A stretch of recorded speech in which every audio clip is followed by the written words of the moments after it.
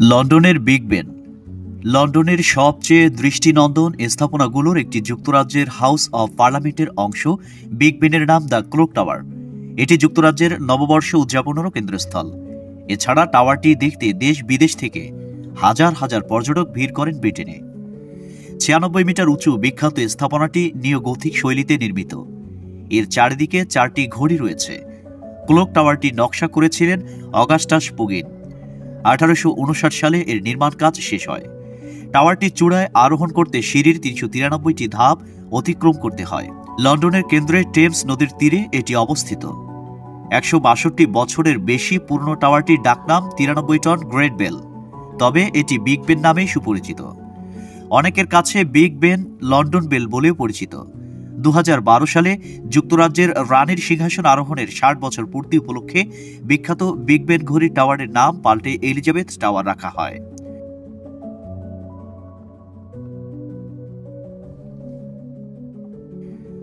মক্কার বিখ্যাত ঘড়ি। মুসলিম সভ্যতার অন্যতম নিদর্শন সৌদি আরবের বিখ্যাত মক্কা রয়্যাল ক্লোক টাওয়ার। মক্কায় অবস্থিত মসজিদুল হারাম থেকে পঞ্চাশ মিটার দূরেই অবস্থিত আবরাজ আল বাইদ হোটেলের উপর নির্মিত ঘড়িটি স্থাপিত। ছত্রিশ হাজার টন ওজনের ঘড়িটির নকশা করেছেন জার্মানি ও সুইজারল্যান্ডের স্থপতি।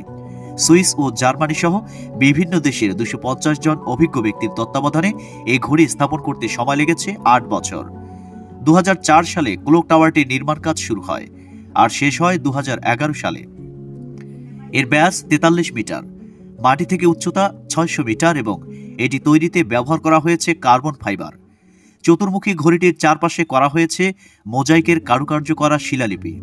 ঘড়ির ভিতরে বিভিন্ন রঙের লেখাগুলো বসানো হয়েছে চোদ্দ হাজার কাচের টুকরোর সমন্বয়। দিনে ও রাতে ভিন্ন ভিন্ন রং ধারণ করে এই কাজগুলো। Philadelphia City Hall. Philadelphia City Hall Pennsylvania শহরের অন্যতম আকর্ষণ। যুক্তরাষ্ট্রের ব্যস্ততম নগরী পেনসিলভানিয়ায় টাওয়ারটির আশেপাশে রয়েছে গুরুত্বপূর্ণ কাউন্সিলর ভবন। বিখ্যাত ফিলাডেলফিয়া সিটি হল আঠারোশো চুরানব্বই সাল থেকে উনিশশো আট সাল পর্যন্ত বিশ্বের সবচেয়ে লম্বা ভবনের খেতাব ধারণ করেছিল। এর উচ্চতা পাঁচশো আটচল্লিশ ফুট, একশো সাতষট্টি মিটার। এই বিখ্যাত টাওয়ারের চারটি ঘড়ি রয়েছে, যা টাওয়ারের চারপাশে অবস্থিত প্রত্যেকটি ঘড়ির ব্যাস আট মিটার তথা ছাব্বিশ ফুট। ভবনটির নির্মাণ কাজ শুরু হয় আঠারোশো একাত্তর সালে আর শেষ হয় উনিশশো এক সালে। টাওয়ারটির নির্মাণে ব্যবহৃত হয় ইট, সাদা মার্বেল এবং চুনা পাথর। টাওয়ারটি নকশা করেছিলেন স্কটিশ বংশোদ্ভূত স্থপতি জন ম্যাক আর্থার জুনিয়র এবং থমাস উস্টিক ওয়াল্টা নির্মাণ শেষে আঠারোশো চুরানব্বই সালে টাওয়ারটি বিশ্বের সবচেয়ে উঁচু ভবনের খেতাব অর্জন করে। অ্যাস্ট্রোনমিক্যাল ক্লোক স্থানীয়দের কাছে ক্লোক টাওয়ারটি প্রাক অর্লোস নামে পরিচিত। এটি একটি মধ্যযুগীয় মহাজাগতিক ঘড়ি। চোদ্দশো সালে নির্মিত ঘড়িটির নির্মাণ কাজ কয়েকটি ধাপে সম্পন্ন হয়। আঠারোশো পঁয়ষট্টি সালে ঘড়ির নির্মাণ কাজ শেষ হয়, যা বর্তমান বিশ্বের চলমান প্রাচীনতম ঘড়ি। চেক প্রজাতন্ত্রের রাজধানী প্রাগের জনবহুল ওল্ড টাউনে অবস্থিত ক্লোক টাওয়ারটি। এক কথায় শহরটির মূল আকর্ষণ হল প্রাক অ্যাস্ট্রোনমিক্যাল ক্লোক যা বিশ্বের প্রাচীনতম জ্যোতির্বৈজ্ঞানিক ঘড়ি। দ্বিতীয় বিশ্বযুদ্ধে ক্লোক টাওয়ারটির ব্যাপক ক্ষয়ক্ষতি হয়। যুদ্ধ সমাপ্তির পরেই ক্ষতিগ্রস্ত অংশগুলো পুনর্নির্মাণ করা হয়।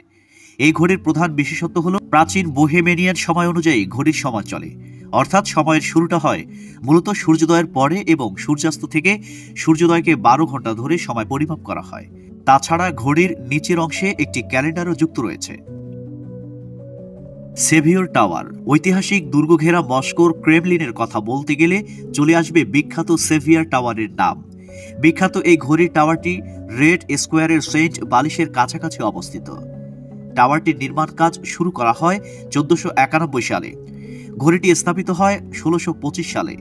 এই ঘড়িটি মস্কো শহরের অন্যতম আকর্ষণ। ক্লোক টাওয়ারটি নকশা করেন ইতালির স্থপতি পিয়েত্রো আন্তনিও।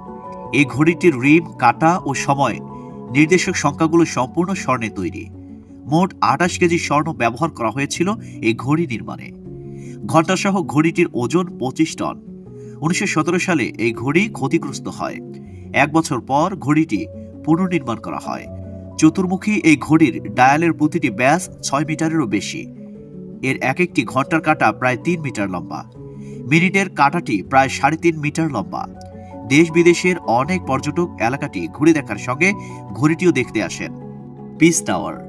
পিস টাওয়ারটি কানাডার অটোয়া শহরের কেন্দ্রস্থল কানাডিয়ান পার্লামেন্টারিয়ান কমপ্লেক্সে অবস্থিত। কানাডার বিজয় ও শান্তির প্রতীক পিস টাওয়ার। এ কারণেই বিখ্যাত টাওয়ারটি officially Tower of Victory and Peace নামে পরিচিত। জানা গেছে, প্রথম বিশ্বযুদ্ধে নিহত পঁয়ষট্টি হাজার কানাডিয়ান সৈনিকের স্মরণে ক্লোক টাওয়ারটি নির্মাণ করা হয়। উনিশশো ষোলো সালে পিস টাওয়ারের আগুন লাগে, ফলে ঘড়িটি ক্ষতিগ্রস্ত হয়। পরে ঘড়িটি ভিক্টোরিয়া টাওয়ারের প্রতিস্থাপন করা হয়। মূলত এটি কানাডার প্রাচীন ঐতিহ্য। টাওয়ারটির উচ্চতা তিনশো বিশ ফুট। টাওয়ারের যে ঘড়ি রয়েছে তা ষোলো ফিট লম্বা। ঘড়ির সময় জানান দেওয়ার জন্য রয়েছে মোট তিপ্পান্নটি বেল বা ঘণ্টা, যা আকারে তিনটি বিশাল আকৃতির হাতির সমান। ঘড়ির নকশা করেন জিন মার্সেন্ট এবং John Pearson. Zytglogge clock tower. সুইজারল্যান্ডের রাজধানী বার্নের অন্যতম আকর্ষণ জিৎসলো ক্লোক টাওয়ার। এটি বিশ্বের প্রাচীনতম ঘড়িগুলোর একটি। ত্রয়োদশ শতকের গোড়ার দিকে ক্লোক টাওয়ারটি নির্মাণ করা হয়। টাওয়ারের ঘড়িটি মূলত পঞ্চদশ শতকে একটি জ্যোতির্বিদ্যা ঘড়ি। সাধারণ সময়ের পাশাপাশি এখানে জ্যোতির্বিদ্যার সময় জানা যায়। টাওয়ারটি নির্মিত হয় বারোশো আঠারো থেকে বারোশো সালের মধ্যে। সেই সময়ে টাওয়ার ছিল ষোলো মিটার লম্বা।